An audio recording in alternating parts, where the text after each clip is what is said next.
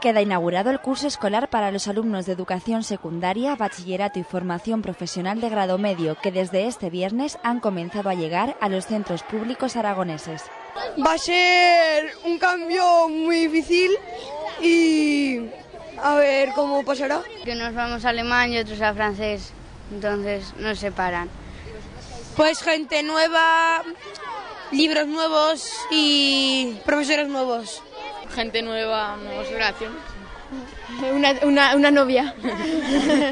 Entre los más pequeños se respiraban nervios y expectación por saber quiénes serán sus futuros compañeros de pupitre y por adentrarse en una nueva etapa que sin duda les planteará retos y alguna que otra dificultad innata en el proceso de aprendizaje.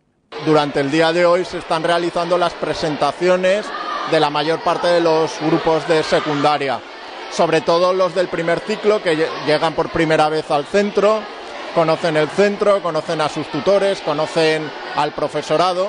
Ajenos todavía al mundo adulto, los alumnos de primero del Miguel Catalán, tras el discurso de bienvenida de su director, han entrado de lleno en la realidad. Docentes del centro han criticado el recorte de 16 profesores y han anunciado un curso caliente donde las movilizaciones en defensa por la educación pública no cesarán.